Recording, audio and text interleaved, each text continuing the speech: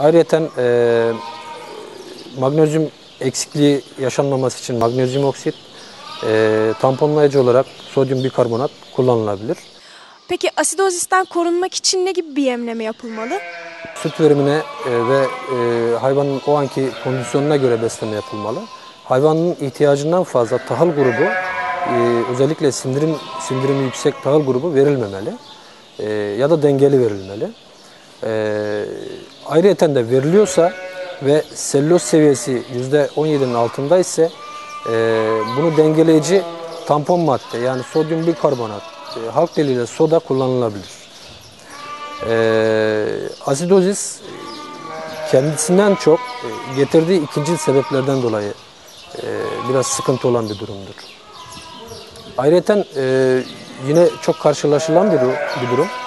Eğer siz e, yine düşük verimli hayvanlara e, yüksek sindirilebilir karbonhidrat kaynakları verirseniz e, yağlanma sonucunda da e, döl verimde sıkıntılar yaşanabilir. E, kondisyonu e, 3-3,5 civarında olmalı laktasyonun sonuna doğru. Kuru döneme girmeden kesinlikle 3,5'un altında olmalı. Çünkü e, doğum zorluğu da yaşattırabilir. Buzağda sıkıntıya da neden olabilir. E, kondisyon 3,5'un üzerine çıkması durumunda e, doğum güçlüğü yaşanır. Buzağı kayıplarına sebep olabilir. Ayrıca da doğum esnasında da sakatlıklar olabilir. Bunun için 3,5'un altında tutmakta fayda var.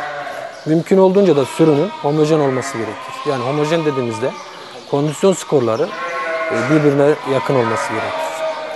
Ee, şimdi diğer bir karşılaşılan bir beslemeye dayalı önemli e, bir sorun e, süt ummasıdır. Yani doğum felci. Doğumdan hemen sonra gelişen e, felçlik durumudur. Kısa, kısa felçlik durumudur.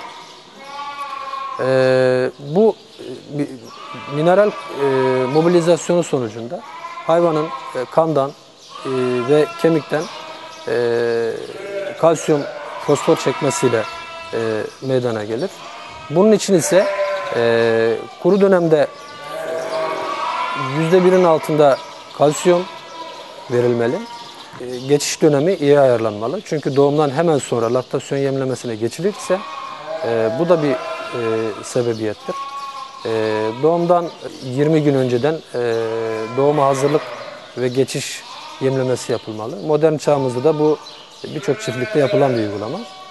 E, ayrıca de bazı teoriler var. Bu besleme şeklinin laktasyonda bir ton süt arttırdığı gibi söylemler var büyük başta. E, koyunlarda da aynı şey mümkün ama koyunlarda bu tür bir çalışma e, yapılmadığı için e, tam bir detaylı bir, bir bilgi yok e, o konuda. Bu bölmede anladığım kadarıyla anne ve kuzuları yer almakta. Peki kaç güne kadar burada beraber duruyorlar? Doğumdan hemen sonra bu gördüğünüz doğum bölmelerini alıyoruz.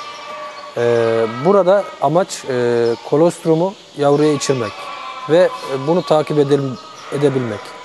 Ee, burada e, az önceki bahsettiğimiz doğumdan hemen sonraki geçiş emlemesi yapılmakta.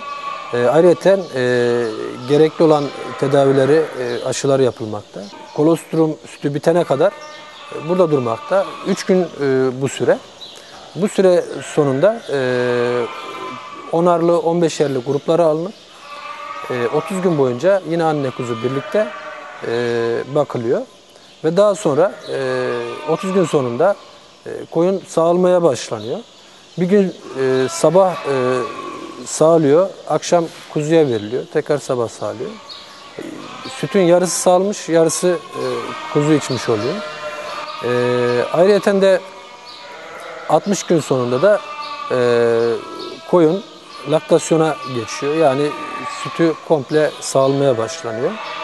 E, kuzular ise sütten kesilmiş, kuzu başlangıç yemine alışmış oluyor.